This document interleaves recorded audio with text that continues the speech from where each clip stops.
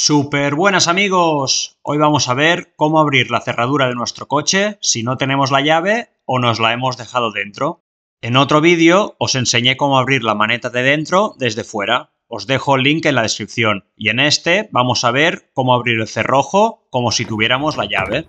Evidentemente siempre que sea nuestro coche o tengamos permiso para acceder a él. Para empezar vamos a ver rápidamente cómo funciona un candado o cerradura con llave. Aunque hay muchos tipos y formas, y los coches son un poco diferentes, esto que os enseñaré nos servirá para tener una idea de lo que queremos conseguir. Como vemos, en este candado transparente, en el cuerpo de la cerradura hay estos raíles con muelles que empujan dos piezas de metal de diferente tamaño cada una. Cuando introducimos la llave, con sus cortes únicos lo que hacemos es empujar estos pequeños pistones para dejarlos en la única posición posible donde dejarán girar el cilindro principal, quedando uno en la parte del cilindro y el otro arriba.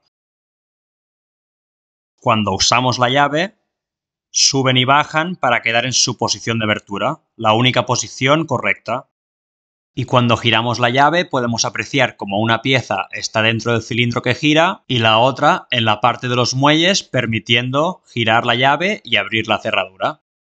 En los coches normalmente la llave tiene dos lados con el mismo corte. Esto significa que hay que presionar los dos lados del bombín para poder abrir la puerta. Es un poco diferente que el candado transparente que os he enseñado, pero el sistema es parecido para que os hagáis una idea. Cuando introducimos la llave en la cerradura, los pistones del bombín se colocan en la única posición donde van a dejar girar la llave y lo que nosotros queremos hacer es, sin la llave, colocar manualmente esos pins en posición, engañando al sistema y abriendo la puerta. ¿Y cómo lo haremos? Es más fácil de lo que parece. Venden unos sets especiales para cualquier tipo de cerradura donde tenemos todo lo que necesitamos para abrir cualquier tipo de puerta o candado aunque también os enseñaré a crear vuestras propias herramientas con cosas que podéis encontrar fácilmente en caso de emergencia. En este tipo de sets para abrir puertas, esta de doble cara son las especiales para cerraduras de coche. Y esta palanca nos servirá para poner presión mientras intentamos abrir uno por uno los pistones y así mantenerlos abiertos hasta que los tengamos todos. Lo que queremos hacer es girar un poquito con la palanca del cilindro lo suficiente para que cuando las piezas de dentro se colocan en la posición de abrir, se queden hasta que las tengamos todas en posición. La palanca sirve para mover el cilindro lo suficiente para que podamos abrir los pistones de uno en uno de manera manual y no se descoloquen. Y manos a la obra, lo primero que haremos será introducir la palanca de manera que nos abra la puertecita del bombín y quede de manera sujeta, dejándonos aplicar un poco de presión para girar. No hace falta introducirla mucho, ya que queremos el máximo de espacio posible para trabajar, y no hace falta aplicar mucha fuerza, la ajusta para que dé un poco de juego el cilindro y sin dejar de aplicar la fuerza, se trata de intentar alinear los pistones de dentro de la cerradura como si fuera la llave original. Como estamos aplicando un poco de presión al girar, cada vez que colocamos un pistón en posición de apertura, la mayoría de veces se quedará atascado en posición correcta, hasta que los tengamos todos. Aquí ya toca paciencia y práctica. Cada cerradura es diferente y algunas son más difíciles que otras, evidentemente. Toca aprender qué herramienta es mejor para vuestro tipo de llave y cerradura y ver cuál os gusta más usar o os parece más cómoda. Es importante aplicar solo un poco de presión a la palanca, no pasarse de fuerza ya que no sirve de nada y puede dañar la cerradura o la herramienta.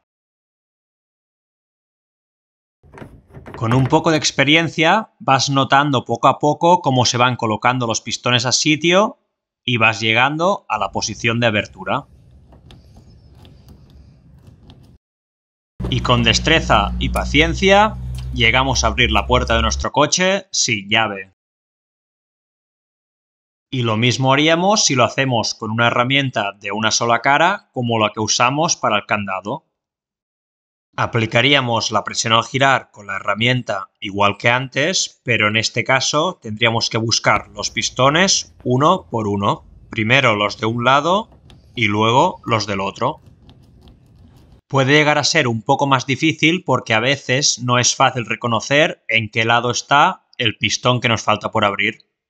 Y eso puede confundir un poco. Aprovecho estos momentos de trabajo para decir que si os está gustando el vídeo, no dudéis en darle a like y suscribiros a mi canal. Así me motiva a seguir y es de gran ayuda.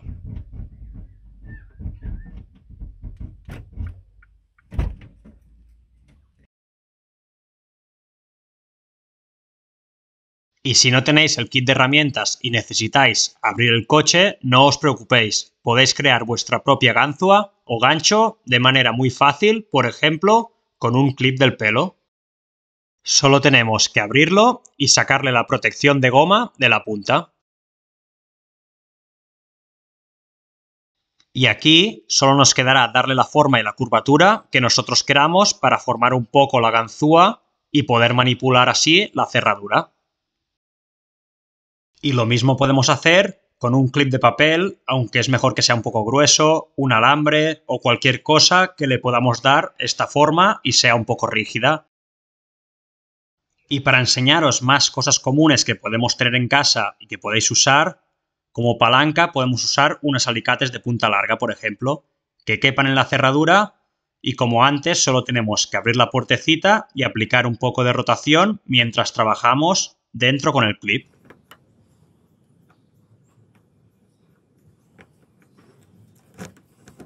Es importante aplicar la justa presión a la rotación sin pasarnos y notar los pistones cada vez que ponemos la herramienta. Esto se gana con el tiempo y la práctica como todo. No os penséis que la primera vez vais a abrir la puerta en 20 o 30 segundos, pero es algo que se aprende y se mejora como más se practica.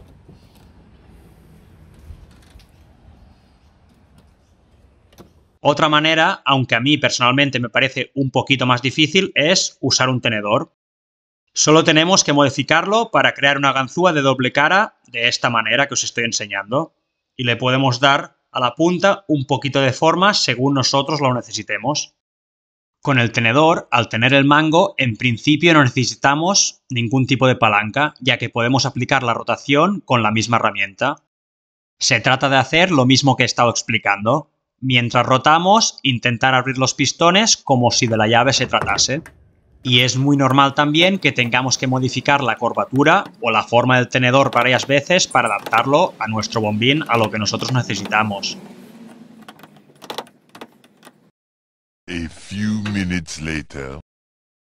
Como os he dicho, es un poco más difícil, pero todo es cuestión de práctica y paciencia, despacito y buena letra. Lo importante es que al final podamos abrir nuestro coche sin dañar nada, ya sea porque hemos perdido la llave o porque nos la hemos dejado dentro. Así que como veis, hay varias maneras de poder abrir nuestro coche con diferentes herramientas si nos hemos dejado la llave dentro. Espero que este vídeo os haya ayudado y si es así, darle a like y considerar suscribiros a mi canal. Muchas gracias amigos y hasta la próxima.